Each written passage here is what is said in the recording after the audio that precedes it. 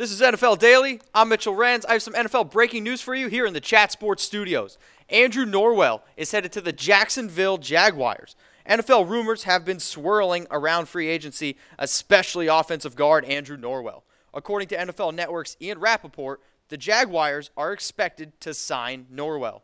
Norwell and the Jaguars have agreed to a five year, $66.5 million deal, with 30 of which fully guaranteed.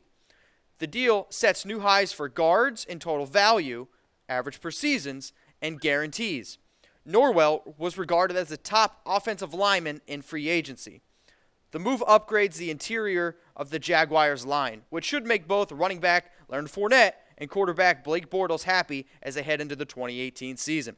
Norwell on the Jaguars makes Jacksonville one of the better offensive lines in the NFL. Last season, the Jags allowed only 24 sacks, and Norwell should only lower that number.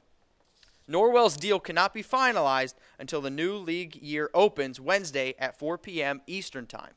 The Jacksonville Jaguars last season established this very tough nose running style plus defense. Andrew Norwell is only going to add to that, and it's going to make, like we said before, Bortles and Leonard Fournette very happy. My name is Mitchell Renz. This is NFL Daily here in Chat Sports Studios. Make sure you stick with us for all the latest NFL breaking news. Until next time, I'll see you.